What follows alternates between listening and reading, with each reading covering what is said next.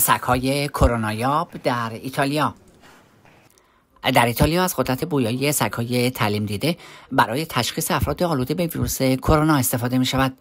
مقامات شهری بورسانا در استان التو ادیجه در شمال ایتالیا در آستانه بازگشایی مدارس در این استان پس از تعطیلات سال نو میلادی اعلام کردند سگهای کرونایاب برای تشخیص دانش آموزان مبتلا به کووید 19 در چند مدرسه این شهر همراه با مربیان خود مستقر می شوند.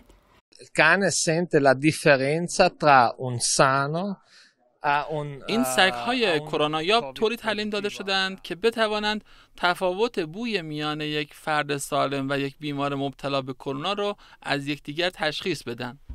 به گفته مقامات بهداشتی محلی ایتالیا این ابتکار جدید می تواند کمک بزرگی به شناسایی و مقابله با ابتلا به ویروس کرونا باشد.